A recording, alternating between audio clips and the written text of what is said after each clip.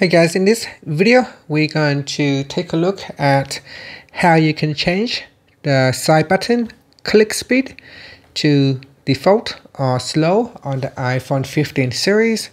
First, let's go back to the home screen by swiping up at the bottom of the screen.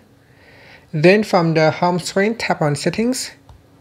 Now in the settings page, we scroll down and then tap on accessibility Next, scroll down, then tap on side button.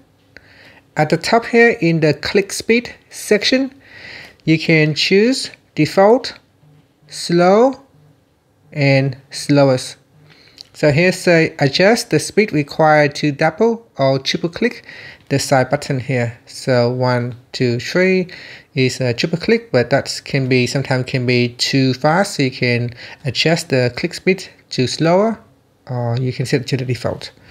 And that's it. Finally, you can swipe up to go back to the home screen. Thank you for watching this video. Please like and subscribe to my channel for more videos.